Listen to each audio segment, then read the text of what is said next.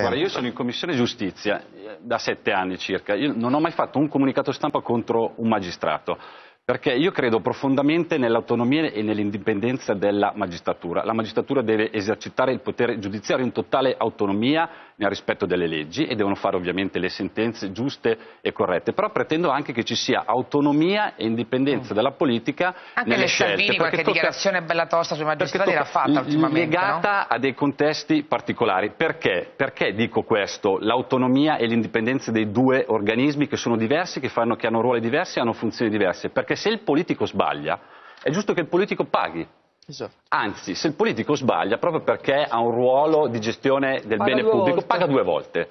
Al tempo stesso però pretendo, perché se è vero come è vero, il dato che ci è stato dato proprio ieri, che ogni anno ci sono 7.000 sentenze sbagliate, 7.000 innocenti che vanno in galera, 7.000 vuol dire, in che, galera, sì. vuol dire che se anche il magistrato sbaglia, e il magistrato può sbagliare, perché È un è, un essere umano e sbaglia. Io però vorrei anche, e questo senza toccare la sensibilità di nessuno, e credo che Davico abbia buttato sul tavolo un tema che non può essere fatto scivolare semplicemente sullo scontro politico, ma un tema che deve essere approfondito e deve portare la politica a responsabilizzarsi. Io, vorrei- io vorrei anche che il magistrato che sbaglia si assuma quantomeno la responsabilità di scelte sbagliate, perché il magistrato che sbaglia, soprattutto in ambito penale, va a incidere profondamente su un Eh bene, certo, che è il bene no. principale, che è il bene della libertà.